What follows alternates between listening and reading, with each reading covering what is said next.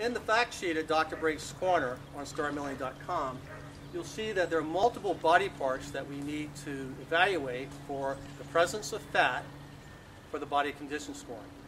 They are the neck area, the withers, the shoulder, in particular this fat pad that lies behind the shoulder. We look at the rib area.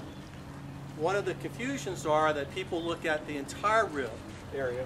We want to consider just this quadrant, which is the upper quadrant closest to the shoulder area.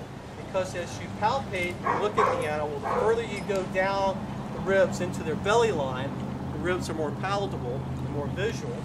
And the further you go back to their rump area, the same thing. They become more palatable and more visual. So when we actually evaluate the ribs, it's just in this area.